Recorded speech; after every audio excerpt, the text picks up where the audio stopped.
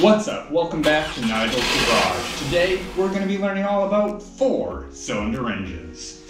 You're probably thinking something like, oh, four-cylinder engines, I know those. Those are the ones with four cylinders, right? Wrong. As you can see, they only have two. Well, let's pop open this hood and take a look at a four-cylinder engine in its natural habitat.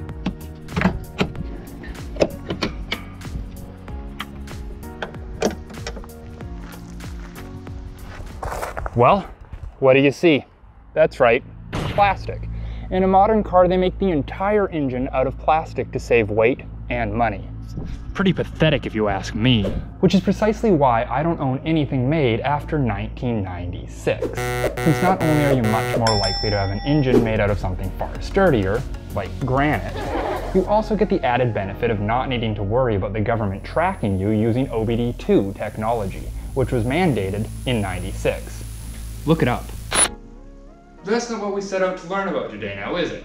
No. We wanted to learn about four-cylinder engines. How do they work? What do they do? And where do they go when the sun goes down? Well, let's start with that first question. How do they work? Well, most engines take advantage of a combustion chamber where air and fuel are compressed and ignited, creating a controlled explosion, propelling the vehicle forward. Four cylinders are quite unique in the way that they make their power. They simplify that entire process and just blow up.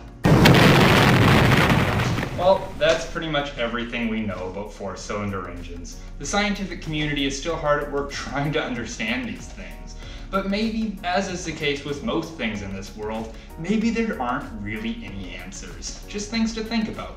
So I hope you've enjoyed thinking about four-cylinder engines today. Now if you'll excuse me, I have to go hide myself away in my basement because the birds in the trees have been spying on me and I don't like how much they've been able to figure out.